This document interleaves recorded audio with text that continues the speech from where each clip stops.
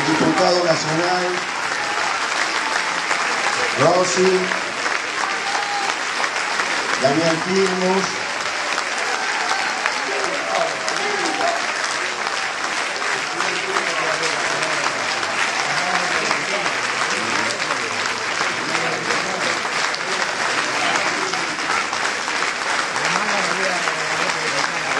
Le pedimos a María del Carmen que se acerque acá al frente para acompañarnos.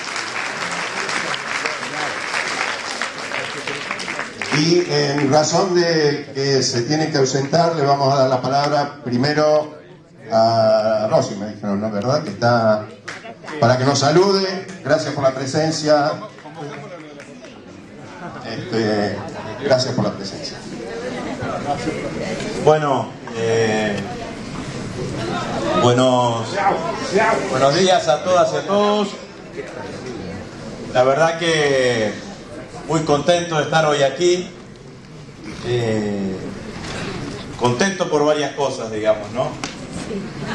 Han pasado algunas cosas en las últimas horas que, parecen que van poniendo las cosas para el lado de la justicia, pero también hacerles a todos los compañeros de Carta Abierta un, fuerte reconocimiento eh, por, por el origen, digamos, ¿no? Eh, Carta Abierta nace en momentos en donde las cosas estaban dificultosas para el proyecto nacional y popular, eh, alrededor de todo lo que fue el debate con, las patronales agropecuarias y, en un escenario de, muchísima, de muchísimas dificultades. Y, y yo me acuerdo que, que cuando me tocó cerrar el, el debate de IPF en la Cámara de Diputados, eh, que había un marco enorme de compañeras y compañeros en, en, en, en todo, el recinto de la Cámara, eh, y muchos, bueno, aplaudían y alentaban. Yo hice esa referencia que la remarco porque creo que está en el ADN de nuestro proyecto político, digamos, ¿no? En ese momento yo dije que, que, no siempre había sido así en esa Cámara. De hecho, yo en la Cámara de Diputados muchas veces hablé con las barras en contra que no paraban de insultarme durante todo, durante todo el discurso. Y que lo importante era que con aplausos o con huevazos siempre defendimos los mismos valores y siempre defendimos las mismas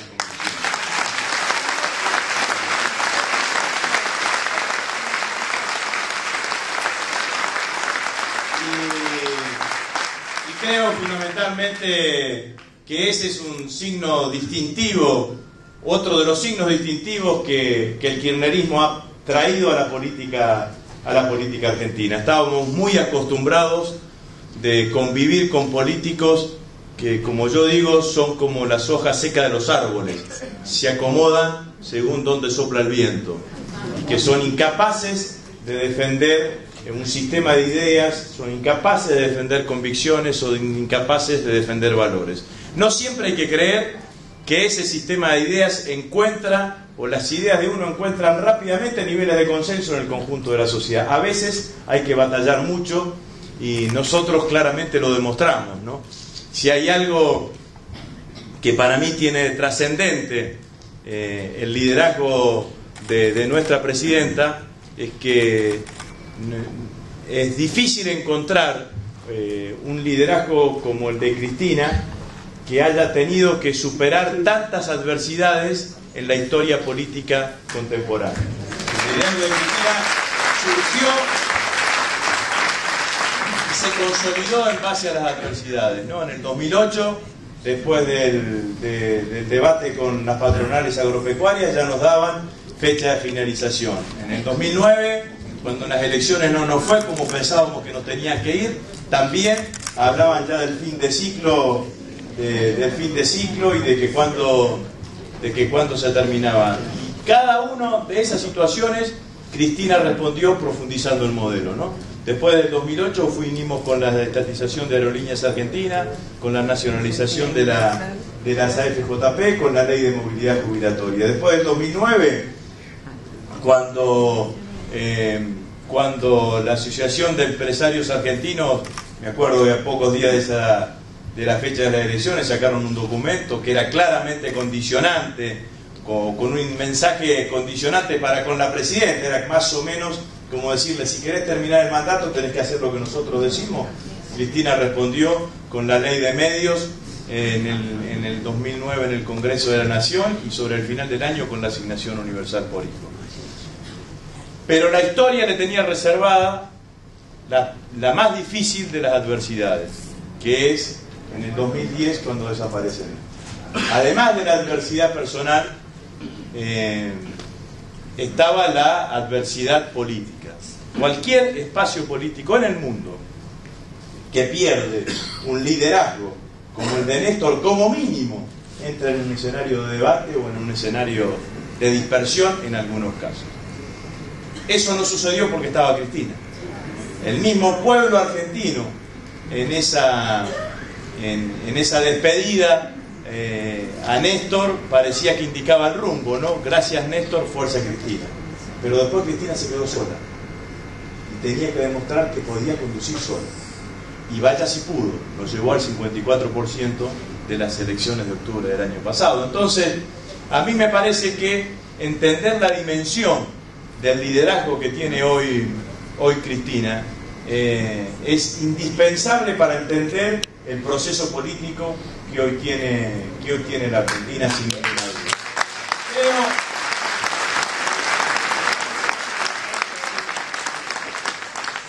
Creo, creo eh, compañeras y compañeros, que, que, un liderazgo tan fuerte eh, también genera condicionamientos.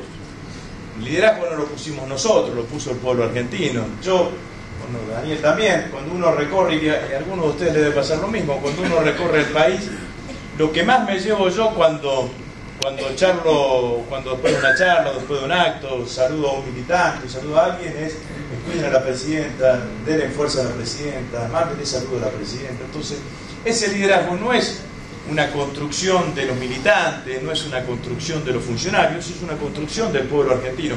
El que quiera oponerse a ese liderazgo, el que quiera construir liderazgo alternativo simplemente se equivoca. No hay posibilidad de construir liderazgos alternativos con un liderazgo de tanta presencia, tan tensionante del conjunto de la sociedad argentina. Entonces, para nosotros...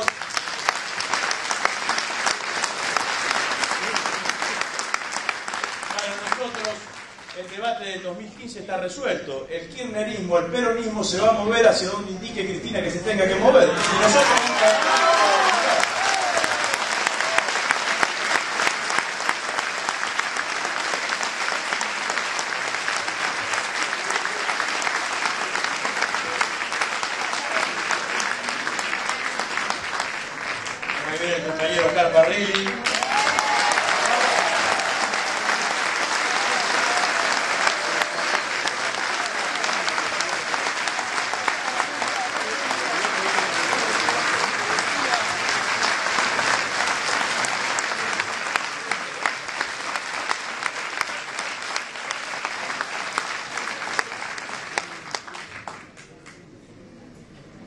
Bueno, eh, simplemente eso, felicitarlos nuevamente, eh, desearle a todos los compañeros que, terminen un buen año.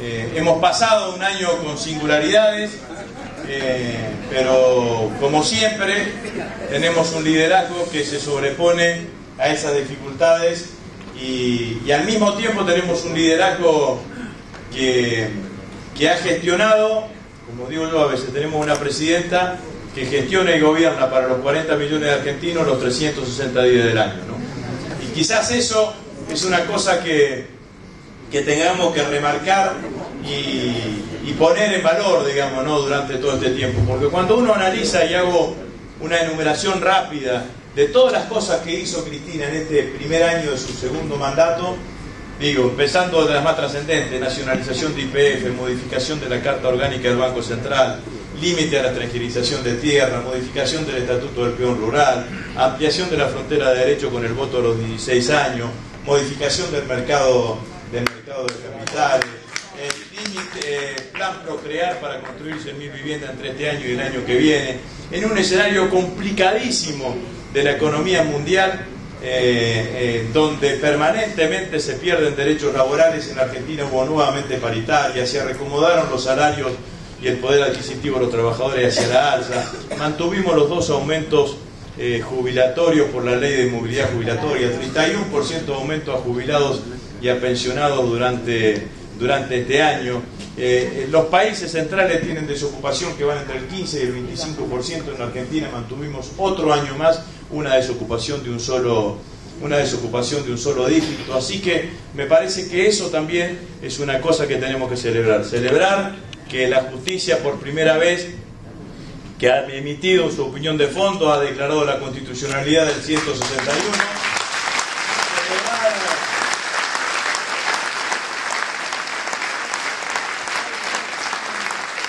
Celebrar, la recuperación de, la fragata Libertad y sobre todo solo por el, valor simbólico que tiene, tiene la fragata, sino que los tribunales internacionales le han puesto un nuevo límite a los fondos buitres.